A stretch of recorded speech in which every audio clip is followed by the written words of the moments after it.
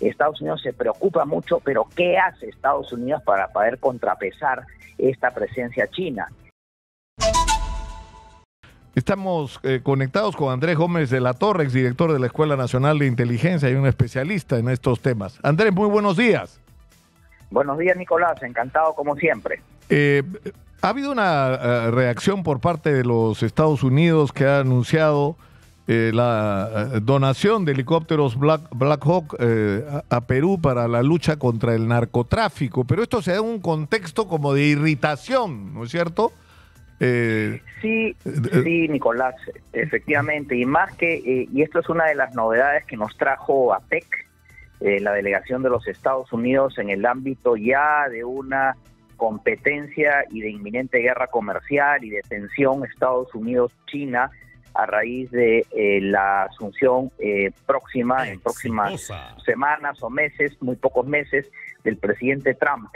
Entonces sí, concuerdo eh, contigo en el sentido de que efectivamente esta reunión de la PEC ha traído como consecuencia también a ser visibles a ser visibles algunas eh, complejidades en la relación de Estados Unidos y China y efectivamente eh, parte de los Estados Unidos se nota un interés de poder, digamos, recomponer algunas relaciones en el ámbito de la seguridad y el narcotráfico que recordarás, Nicolás, eh, se quedaron perdidas desde el año 2001 cuando hubo este el incidente, de la avioneta. Los misioneros, correcto, ¿no? Y ahí se cortó totalmente un programa que ciertamente fue muy exitoso, en Nicolás, el Air Bridge Daniel, en los años 90 de los Estados Unidos con la Fuerza Aérea del Perú fue exitoso en materia de interdicción, pero lamentablemente, Nicolás, este incidente que tú recuerdas muy bien del 2001 empañó mucho la relación bilateral y lamentablemente de los Estados Unidos se vio una actitud muy reacia a cooperar eh, y, eh, o a seguir cooperando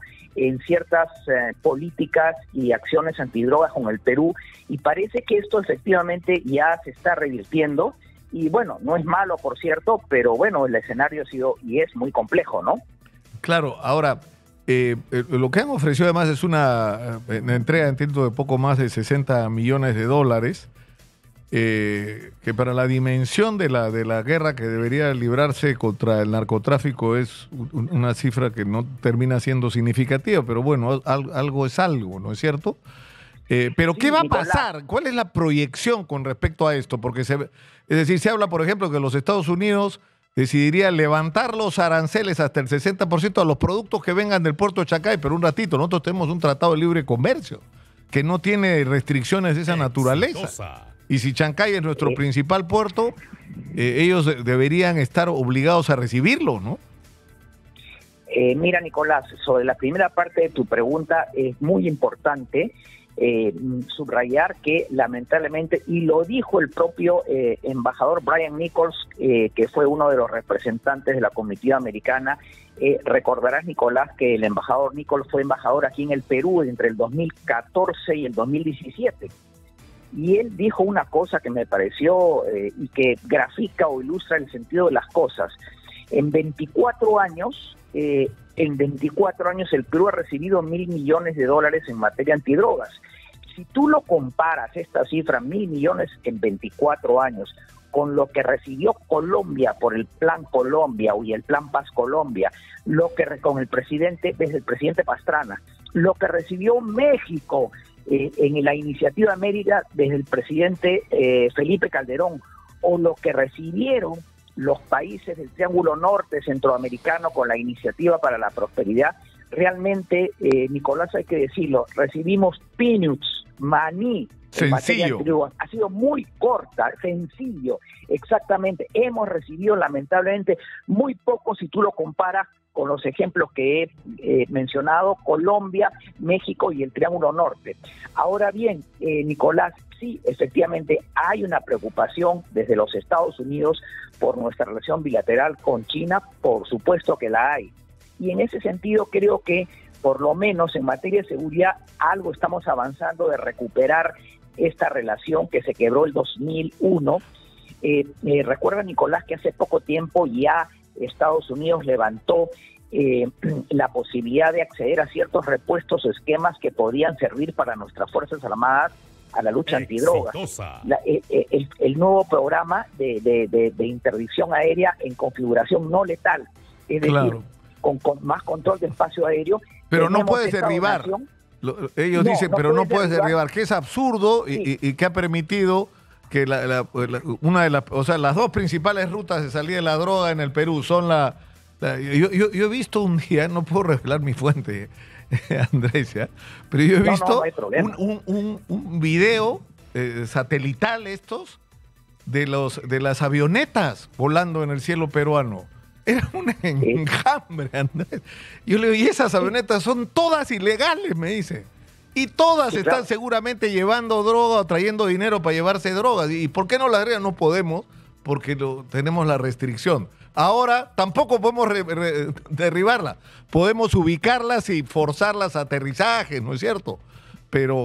Sí, mira, eh, como tú bien dices, hay dos grandes rutas, entre comillas, nuevas, eh, eh, vinculadas al tráfico ilícito de drogas. Los puertos, recordarás, los puertos primero, y el espacio aéreo. Entonces, claro, pero ¿qué ha permitido, permíteme Nicolás, este programa de no letal de derribo este, digamos, de operación de interdicción aérea, sí que ha permitido. Recuerda que teníamos vetos para la compra de radares, por ejemplo, para control de espacio aéreo. Había una serie de prohibiciones y restricciones, repuestos indirectos para cierta, eh, ciertos tipos de aeronaves que tenían componentes norteamericanos que podían servir para la interdicción. O sea, es decir, sí creo que hay algo positivo que hay que subrayar, que este nuevo programa de interdicción aérea no letal va a permitir levantar las prohibiciones que habían para la adquisición de radares, de equipos de control de espacio aéreo. O sea, por esa parte creo que es es, positivo. No es lo mejor, no es óptimo, pero, es, un paso, adelante a, lo, que era peor lo que había. Ahora, ahora una, una última pregunta, Andrés. Eh, es cierto que se ha dado un paso también en el, norte con la inauguración de esta plataforma, ¿no es cierto? Correcto, pero, el puerto espacial. Claro, pero el tema es que es un asunto muy puntual y en un contexto en el cual con la elección eh, de, en el cual la elección de Donald Trump lo que, lo que va a ocurrir es una especie de autismo económico, ¿no es cierto? Van a levantar barreras alancenarias con ese rollo de América para los americanos, o sea, eh, van a priorizar su mercado interno. Es decir, eh, no vamos a hacer una prioridad, pero ni de lejos. O sea, están muy preocupados por los chinos, la presencia comercial y económica de China en el Perú. Pero digamos, lo que quieren es más o menos, no dejen que los chinos avancen, pero no cuenten con nosotros para otras cosas. Tampoco es así, ¿no? Esa es la gran paradoja, efectivamente, Nicolás, que se dice y se comenta no solo en el Perú, sino en los pasillos de los órganos públicos de los Estados Unidos. Estados Unidos se preocupa mucho, pero ¿qué hace Estados Unidos para poder contrapesar esta presencia china? Eh, un tema importante que has mencionado es el puerto espacial, que de una u otra manera significa también una forma de compensar ciertas presencias. Y efectivamente, sobre la administración eh, Trump, el, eh, el, inminente secretario de Estado que ha sido designado, Marco Rubio, ha hablado, ha hablado claramente de que tendrá un primer interlocutor válido, que es el presidente Milei de Argentina, el presidente Abinader, Peña y Bukele, también como que no estamos muy en el radar. Te, te buscas en la lista, te buscas, repites el discurso y no aparecemos, no nos nombran.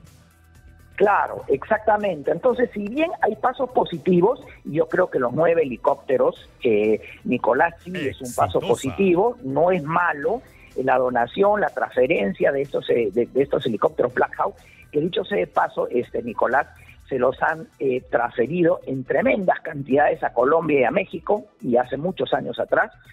Eh, digamos como que es positivo, pero efectivamente hay una serie de nubes ¿no? que este, están enmarcando, digamos, este escenario de competencia eh, Estados Unidos, China y su vinculación con el Perú. Andrés, te agradezco mucho, como siempre, por habernos atendido. Muy Encantado, gentil. Nicolás. Un, abrazo. Muy buenos días. Gracias. Hasta luego. Muy, muy buenos días. Muy buenos días.